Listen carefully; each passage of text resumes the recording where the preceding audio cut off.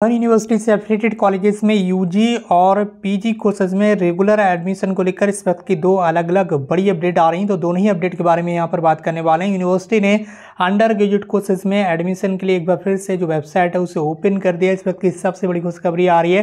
इसके साथ ही यहाँ पर लेट फ़ीस भी लगा दी है। तो सारी चीज़ें इस वीडियो में आपको देखने के लिए मिलेंगी। अगर आप चैनल पर नए हैं तो रुलखन यूनिवर्सिटी से संबंधित पल पल की अपडेट के लिए चैनल को सब्सक्राइब करके बेलाइकन जो प्रेस कर लीजिए और इस वीडियो को अपने अदर फ्रेंड्स के साथ भी शेयर कर दीजिए। तो चलिए दोस्तों, आज की इस वीडियो को स्टार्ट करते हैं। और यहाँ पर आज की सबसे पहली अपडेट आपके सामने स्क्रीन पर पीजी कोर्सेज में अब आप चार सितंबर तक एडमिशन ले सकते हैं। ये इस वक्त की सबसे बड़ी अपडेट है। यूनिवर्सिटी ने प्रवेश संबंधी जो दिशा निर्देश हैं, वो जारी कर दिए हैं। द्वितीय चढ़ के आज से आवेदन स्टार्ट होंगे और 10 सितंबर तक आपके एडमिशन होंगे पीजी कोर्सेज में, like S M M S C M com ठीक है? ये सारे कोर्सेज अब सेमेस्टर सिस्टम के तहत संचालित किए जाएँगे और जो एडमिशन हो रहे हैं, ये केवल और केवल रेगुलर कोर्स में जो स्टूडेंट्स कोई प्राइवेट कोर्स करना चाहते हैं, कृपया करके वो इस वीडियो को बिल्कुल ना देखें। ये चीज़ यहाँ पर आपको साफ़ साफ़ बताई जा रही है। तो रोहिलखंड विश्वविद्यालय ने परस्नातक में प्रवेश संबंधी दिशा निर्देश जारी कर दिए हैं। महाविद्यालय यानी कि कॉलेजेस को तेईस अगस्त से लेकर चार सितंबर तक मेरिट जारी कर छात्रों के एडमिशन लेने होंगे। पहले विश्वविद्यालय ने 31 अगस्त तक तिथि निर्धारित की थी, लेकिन 23 से 31 अगस्त तक पुलिस भर्ती परीक्षा की वजह से तिथि को विस्तारित कर दिया। इसके अलावा द्वितीय चरण में प्रवेश के लिए 23 अगस्त से 5 सितंबर तक एडमिशन होंगे और महाविद्यालयों को 6 से 10 सितंबर तक जो मेरिट है, वो जारी कर एडमिशन लेना होंगी। इस वक्त की सबसे बड़ी अपडेट आप देख पा रहे होंगे। इसके बाद यहाँ पर बताया गया है कि सत्य दो हज़ार चौबीस पच्चीस में M A M S C M com B lib M lib M S W B P Ed इसके अलावा सभी पीजी डिप्लोमा पाठ्यक्रम, इसके अलावा L L B M Ed की जो प्रवेश प्रक्रिया है, वो निर्धारित कर दी गई है।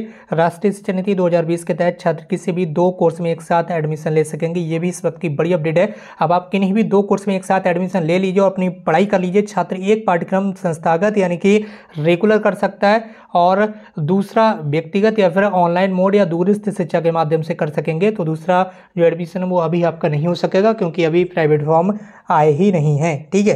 तो जब प्राइवेट फॉर्म आएँगे तब आप दूसरा कोर्स में भी एडमिशन ले सकते हैं। यूनिवर्सिटी की तरफ़ से लगातार जो जानकारी दी गई है न्यू एजुकेशन पॉलिसी में ऐसा जो प्रावधान है, वो इंडियन गवर्नमेंट की तरफ़ से कर दिया गया है। छात्र छात्राएँ प्रवेश के लिए अधिकतम दस महाविद्यालयों में आवेदन कर सकते हैं, लेकिन उन्हें एक ही कॉलेज में एडमिशन लेना होगा, जो अभी एडमिशन चल रहा है, इसके बारे में बात की जा रही है। बाकी अगर बात करें यूजी कोर्सेज के बारे में, जिसके B A B S C B com B B A B C A ठीक है?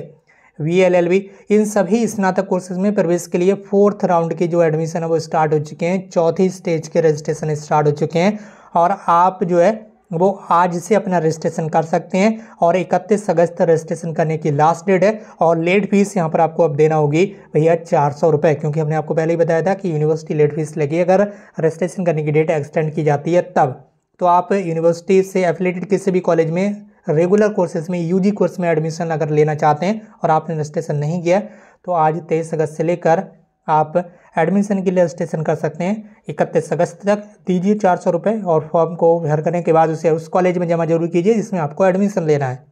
इसके साथ एक और अगली बड़ी अपडेट आ रही है बीएमएस मेडिकल के स्टूडेंट्स के लिए बीएमएस के फेल छात्रों को परीक्षा का एक और अवसर दिया है। यूनिवर्सिटी ने इस वक्त की सबसे बड़ी खुशखबरी है उनके लिए। बीएमएस के फेल छात्रों को रिलखन यूनिवर्सिटी ने एक और परीक्षा का मौका दे दिया कुलपति प्रोफेसर के पी सिंह ने पचास छात्रों की दया याचिका को मानते हुए एक और अवसर दिया है। इन छात्रों के सभी अवसर पूरे हो गए थे। इसको लेकर यूनिवर्सिटी ने छात्रों यूनिवर्सिटी में छात्रों ने कई बार विरोध भी जताया था। कुलपति प्रोफेसर के पी सिंह ने कहा कि हमारे छात्र, हमारी पूंजी हैं। पाठ्यक्रम को पूर्ण करने के बाद ही करियर बनाया जा सकता है। यदि डिग्री पूरी नहीं होगी तो छात्र को निराशा होगी।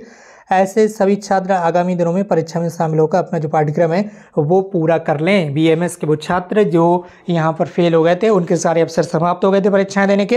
यूनिवर्सिटी ने एक बार फिर से उन्हें मौका दे दिया है तो इस वीडियो को ज़्यादा से ज़्यादा शेयर कीजिए अपने फ्रेंड्स के साथ, ताकि अदर भाई बहनों को भी इस बारे में जानकारी मिल सके।